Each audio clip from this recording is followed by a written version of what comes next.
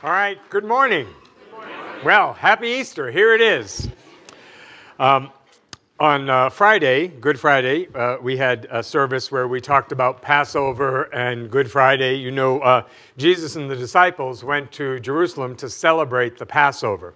So, uh, we, uh, our way of making Good Friday Good Friday was during the day on Friday, and many of you were involved. We fed some people in uh, a park in North Hollywood. We had a beautiful lunch for about 50, 60 people there. And then after that, we packed up the rest of the food and went downtown and fed another 50 people there. So if you brought us food or you came to serve or you were involved in any way, we are very, very grateful. I know it doesn't solve the problem of homelessness, uh, but, but it did make Friday a good Friday for a bunch of people who were hungry, which counts to me. In my book, I think that's absolutely significant and, um, and it's, it's something. Um, so here we are, Easter. Wow, I love Easter. I always loved Easter as a kid.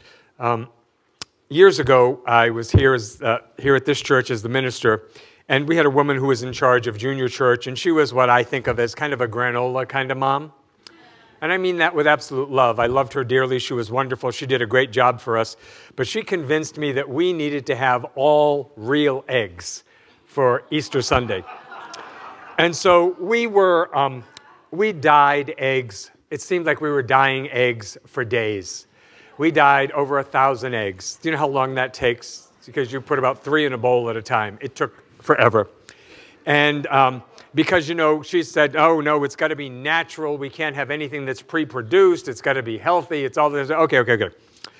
So we put all those eggs out there on the lawn while the kids are in the first service, and, um, and something interesting happened one of those big Southern California crows came and started pecking at the eggs, which very quickly started to look not like pretty little pastel eggs, but looked like little piles of egg salad. And, um, and that crow had friends. And once they heard the buffet was open, about 50 crow friends showed up all over the lawn and started pecking at all the eggs everywhere. So now the lawn is covered in egg salad. And um, uh, not, never one to say, I told you so, but I knew this. You know, first of all, kids don't want a hard boiled egg, okay? there is nothing fun about a hard boiled egg for a kid. Uh, maybe if you were Bobby Flay or something like that as a kid, Bobby Flay might have gotten a hard boiled egg and done something with it. He's on the Food Channel if you don't know. And, uh, but for a normal kid, a hard boiled egg is really not high on their list of things. Um, now, having been a Boy Scout, I'm, I try to always be prepared. So it just so happens that I had a drawer full of chocolate covered eggs in my desk. And so very quickly we went out and we scraped up all the uh, egg salad all over the lawn.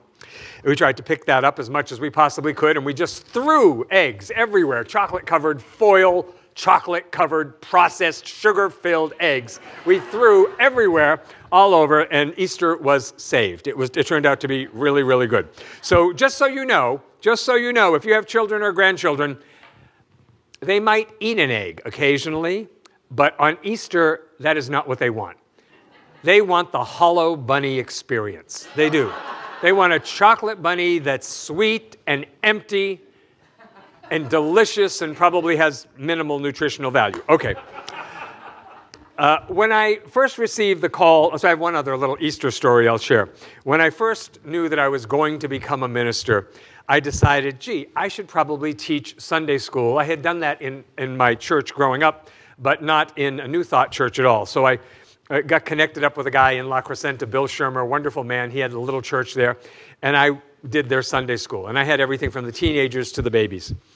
And so I decided we would do an Easter egg hunt, and this was really good. And so for a couple of weeks, I was filling eggs at home at night while I was, you know, watching TV. I'm filling eggs, filling eggs, and um, all of a sudden I realized I, I had probably consumed about a third of the chocolate myself, and I was out of stuff to put in the eggs.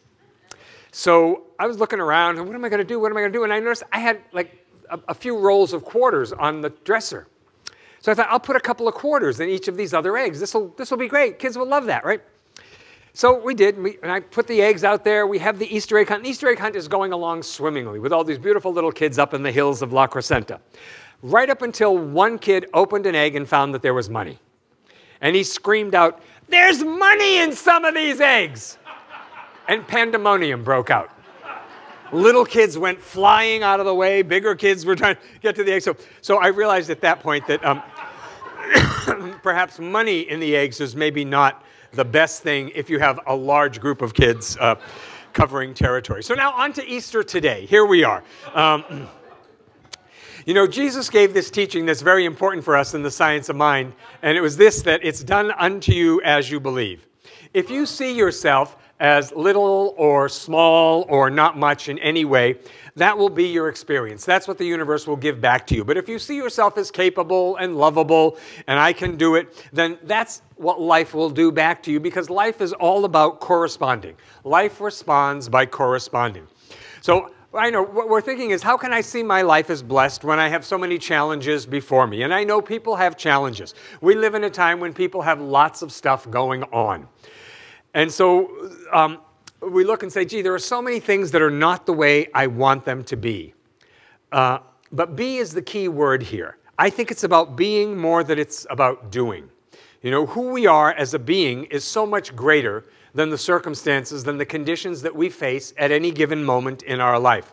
What we've been focusing on so often has been the error, the sickness, the lack, the upset, rather than giving our attention to the divine. And this is what Science of Mind is all about is about giving our attention to the divine, and those other things seem to have a way of taking care of themselves. So, you know, at, sick, uh, at Christmas, our understanding is that through the power of God that is within us, we give birth to our divine self. Right? In religious science, we call this the Christ. It is potential in everyone, just waiting to be called forth into expression. Now, Jesus is an important uh, as a teacher because he realized demonstrated and lived from this place, this consciousness of the Christ. So he is a model for us. There is as much Christ in you as there was in Jesus. We believe that. The difference is he lived from it. We have moments. We have times where we do pretty well and then not so well again and again. So again, I want to say that Christ is the awareness that we are one with God the enlightened or Christ mind lives fully from this awareness of I'm one with God. And the way that expresses that it get, that gets expressed through an ongoing energy of unconditional love. So there are many Christed beings. There have been many Christed beings throughout history in different traditions. It doesn't make any of them less that they are not the only one. It's very limited human thinking, I think, to think that there could only be one. It's the same error thinking that says, you know, this, this couldn't really apply to us. You know, who do we think we are anyway? So for Easter, we recognize this, this self within us is the power of the universe. The self is the love of God, the I am presence, and it exists in every man, woman, and child. Now, this is a tremendously powerful realization. You know, we are not at the effect of the lovelessness in ourselves or the lovelessness of other people. You know, and you don't have to look far to see that there is seemingly a lot of lovelessness in the world. We see that lovelessness and we participate in a way that transmutes it. We add our prayer, we add our affirmation, we add our loving energy, we add our positive thought, we add healing into the equation of the universe because there's never been a time where the light does not cast out the darkness. You know, the darkness has no power in and of itself. The darkness doesn't argue with the light. So when we see difficulty, our job always is to be the light. Our job is to be the light, to know the light, to shine the light, to believe in the light, and know that the darkness in and of itself is not a power, it is not real. So, you know, this, um, uh, if you've been watching the news at all this week, uh, on Friday, we talked about the burning bush, that Moses has a face to face encounter with God through the burning bush. Well, one of the burning bushes that we experienced uh, recently was the, the fire at Notre Dame in France, which was heartbreaking for so many people. You know, no, Everything in France is measured from Notre Dame being the central point. This is such a big thing in the French culture. It's a huge part of Easter. It's, it's, it's everything in the French culture. You know, and then also consider that in, in our own country, that three southern churches were all uh, burned. And, um, and so if you think that there is not lovelessness in the world, we don't have to look far. But also the solution to that is also very nearby. The solution is right where we are. You know, the message of Science of Mind is that we do not to do, do anything we don't have to do something to see our individual selves as healed. We don't need to wait to see ourselves as whole or perfect and complete, like Ernest says in the textbook. We are that right now, regardless of any external circumstances. And it becomes our job to know that for the world that we live in. For these churches down south, for the people who are affected by the loss of Notre Dame and the fire they had there. You know, God never says, oh, gee, I can't do anything about that right now. Uh, get back to me later. I need a little more time. I got to figure this out. You know, so, so here's this teaching that is very important to us that Jesus gave that the kingdom of heaven is at hand. And this is important for us at Easter as it is every time of year because this means that, that this is a state of consciousness that is available to all of us. So, in the history of, of religion in the world, and, and certainly in New Thought history in America, starting with Mary Baker Eddy in the 1800s, and then on to the Fillmores in Unity, Emma Curtis Hopkins also in the 1800s, Ernest Holmes in the early 1900s. All of these people realized that Jesus was the great example, not the exception. That what Jesus was, we had in potential within us. Up until this point, people thought that Jesus was special, but they themselves were nothing very much and that if you had difficulty in life, well, face it, people didn't, 150 years ago, people didn't live very long, did they? You know, people just didn't live a long life 150 years ago. And for most people, for most people, life was really difficult. It, yeah, if you were the king, it was great. But if you were anybody else, it wasn't so good, right? So life was difficult and people didn't live very long. And so the promise of a when you die, you get to have a heavenly experience and all your troubles are washed away, that was very, very attractive to people. They say, well, yes, this life I suffer a lot, but at least when I die, it will all get better. So my point about the New Thought founders was what they said is you don't have to die for it to get better. You know, your life can be heaven here. You know, you can have healed conditions. You can have a healthy body. You can have loving relationships. You can have uh, an abundant supply of everything you need. You can be creatively expressed. That's available now. You don't have to die to get there. And that was a huge revelation. I'm going to say most people are not on board with that. Most people still think it's going to get better when they die. And good luck, I say with that. Um, because, why do I say that? Well, I don't say that to be a butthead, excuse me, but I say, I. I don't because you know the problem. The thing is, you take you with you, right? You take you with you. It's like that woman I met in Hawaii years ago, and I asked her how she liked living in paradise, and she said to me, she said, "Well, you know, she she was from the Inland Empire. She lived out in Riverside County." And she said to me, she said, Well, you know, when I was back on the mainland, I worked three jobs and I fought every day with my grown daughter and, and I was fighting with my ex husband all the time. And then I moved to paradise. And I said, Yeah, so how do you find life in paradise? And she said, Well, I'm still working three jobs. I fight every day long distance with my daughter and I'm still fighting with my ex husband. And, and I said, Wow, that's, that's really surprising. And she says, Yeah, what I came to realize is I moved to paradise, but I didn't bring any paradise with me. Right? It's like, oh, another example of everywhere we go, there we are. You know, so when you leave this earthly plane, you're going with you. Right? So this is why, but this is important. This is why we want to clean it up now. This is why we want to take care of stuff now. Ernest Holmes says in the textbook, and I do not say this to disappoint or depress anybody, but he says you take your personality with you. Yeah, your personality. So you know that snarky little part? That's going with you. It's part of the journey, which is why we need to heal it now. So, anyway, the kingdom of heaven is available. The kingdom of heaven is at hand. I wonder if we're available to it. Right? See, it's, it's the consciousness of love. You know, it's the consciousness of all needs met. I don't know what heaven is to you, but my idea of heaven is really good. When I was a kid, I thought that heaven was laying around on a cloud. You know, I think that's what kids think. There's something like that, that heaven is laying around in a cloud. But I think, no, that's not what heaven is now. Heaven is, is uh, peaceful conditions, a healthy body, having love in our life, having our needs met, being able to enjoy the moment and who we're with. So heaven is inside of us. And it is to be experienced here and now. Now, having said that, if it were an external thing, well, I'll just tell you this story. A very kind and very righteous woman goes to heaven. and, uh, and she meets St. Peter, and St. Peter says to her, Well, before you can pass through the gates and live in paradise, um, we have a little test for you. And you just, you just got to spell a word.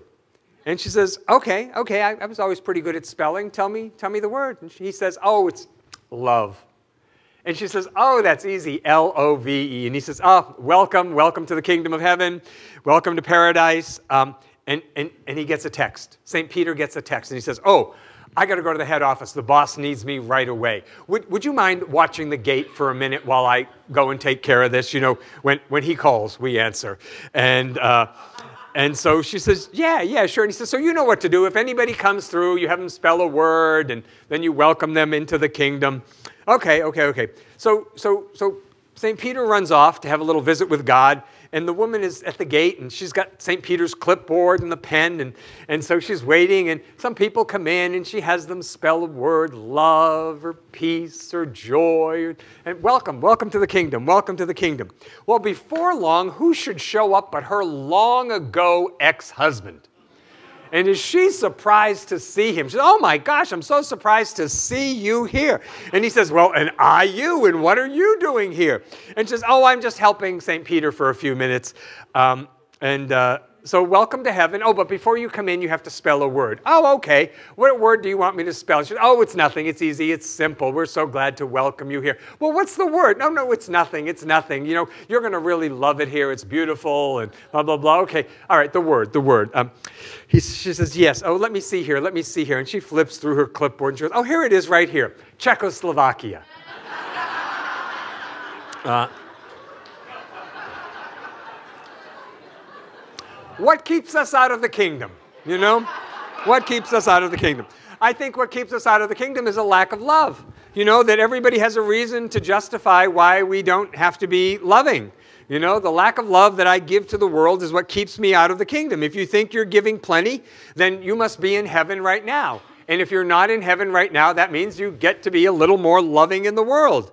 You know, I, I, I, think we get to use the circumstances of our life. This is probably what everybody does, is, you know, the circumstances of our life, we use them and we hold on to them to stay crucified, you know, to stay separate from God. I use the events, the things that happen, I give them power and make them real and believe in them so I can stay in the hell of my own mind. And I don't know about you, but I've been very successful at creating a real hell right here. I don't have to go far for hell, which is why it's so encouraging to me personally that I don't have to go far for heaven either. But if you are being busy right now in your life, stuck on the cross, you know, everyone will understand that this is why we are not able to resurrect. If we're so attached to the crucifixion there's no resurrection there. But please understand, this is an energy pattern. Crucifixion always happens before resurrection. And so I don't know where you're experiencing crucifixion in your life right now, but I suspect you are because it seems to be part of our human condition. But I know if you're experiencing crucifixion, it's also absolutely possible for you to feel resurrection.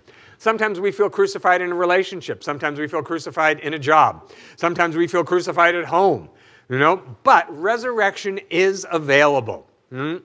Uh, I, metaphysically, crucifixion, I believe, symbolizes crossing out all of the errors of mortal consciousness and making way for the Christ to come forth by means of us, right? The divine self within us. It's always been there, it just seems hidden, you know, but it's only limited, it's only restricted by our belief.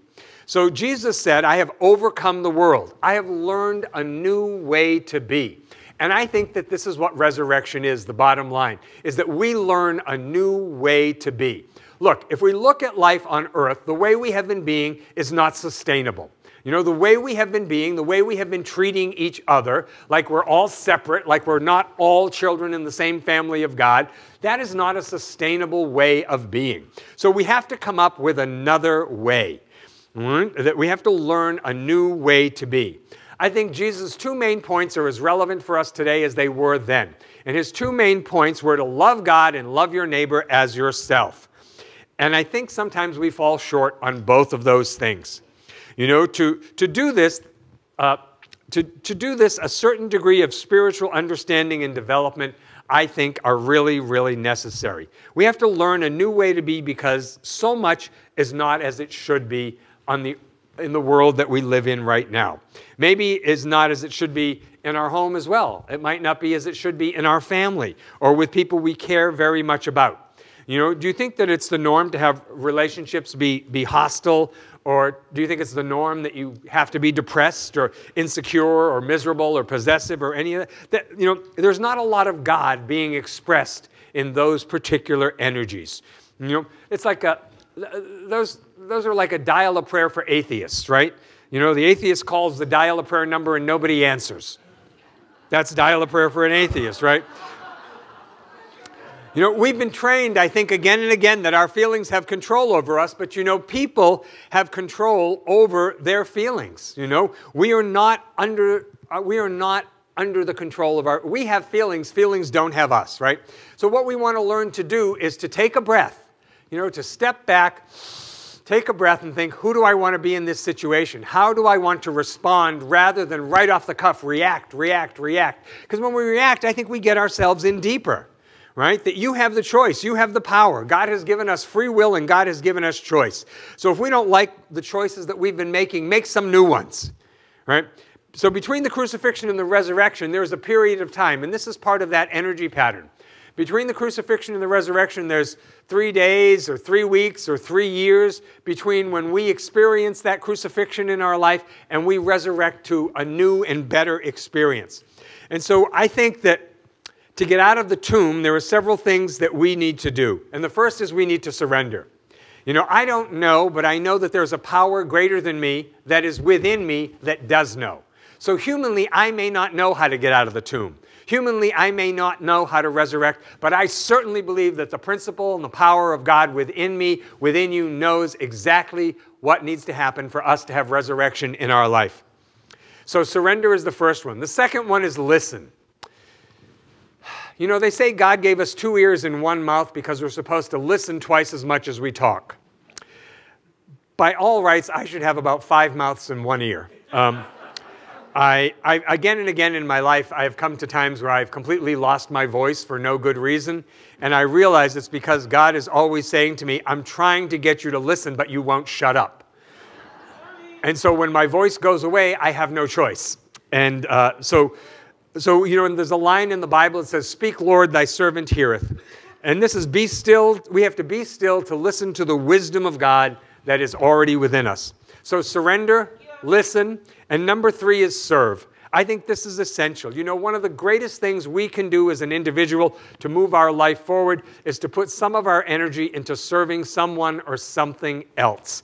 One of the greatest ways you can have your own prayer answered is to pray for somebody else who has a similar prayer or a similar challenge that they are dealing with, right? So when we're talking about being of service, we're here to serve God's will, God's plan. And what is it? Well, what's right in front of you? You know, who are the people in front of you? Are you serving them? Are you serving those situations? You know, God is always for a fuller and greater expression of life, and that happens by us often, I think, rolling up our sleeves. You know, so I think resurrection is lifting ourselves, spirit, mind, and body, into this greater consciousness that we call the Christ consciousness. You know, when we rise, it's, it's without any of the victim stuff. You know, you can't hold on to your past and rise to a new life. You can't blame or shame or regret your way into healing. All of that has to be left behind. There's a story that we tell. It's time to let that story go if you want to have a new, better, different life because you can't be both risen and in the past at the same time. Something's got to go. You know, we say, well, people will say, well, but it's so much work. And it's like, well, yeah, I know it's work, but you know, a drowning man doesn't complain about the size of his life preserver, does he? He's just happy to have something to hold on to. And in the science of mind, we have a lot to hold on to. We have a lot that will keep us afloat. You know, when, people ask about the meaning of Easter, and I say, well, you know, one thing I believe about the meaning of Easter is that when Jesus appears to his disciples after the crucifixion, after the resurrection, Jesus appears to his disciples to say, hey, look, I told you, you are not just a body. You are spirit, you are consciousness, and the consciousness that you are continues on even when you set this earthly vessel aside. This is not the end of the story. And I want us to know, all of us today, that what's happening in our life right now is not the end of the story. It's not over till it's over, and God within us knows exactly what we need to know and do and be for the story to have the best possible ending. Let's pray. Thank you. So we turn our attention inward for a moment and recognize this Spirit of God, this Christ presence, is the truth about each and every one of us here. That Christ is not limited to a denomination or a person or any location at all, that Christ is the truth of who and what we are. And so, in this awareness of our connection with God, I further know we are all connected with each other on the unseen side of life. There is only one of us here. We are all cells in the body of God. And so, in this awareness, I speak the word for us that wherever we have had personal crucifixion in our life, we may be in it right now. I speak the word for us that healing is available, that we are choosing consciously with a full heart to be resurrected. And this means that anything that does not serve us, we willingly let it go. We release thoughts and beliefs and ideas and habit patterns and ways of being. We release an old story and we make room to have newness in our life like we have never known before. I'm certain that with God, all things are possible. So I claim a personal resurrection for each and every one of us. And we include in our prayer today our family members and friends, parents and children, all of those that we hold near and dear. And I know that right where they are, the fullness, the allness of God's Spirit is right there. We let our prayer be a blessing in the world that we live in. So, all those things that pull at our attention, whether it's the churches down south or Notre Dame in France, and everything else that's happening in the world that we live in, we affirm God's perfect healing presence is right there. Beyond the story, beyond the drama, beyond the difficulty, God is there as love, as people caring, as healing, as right outcome. We bless our church, we bless all churches. We bless synagogues and temples and mosques and ashrams, all paths to God. And I know we're blessed by being together, that there is raising up for every one of us. And so, with a full heart, I say, Thank you, God, that this is so, that this is the truth right here, right now. I release this word, and so it is. Together we all say, Amen.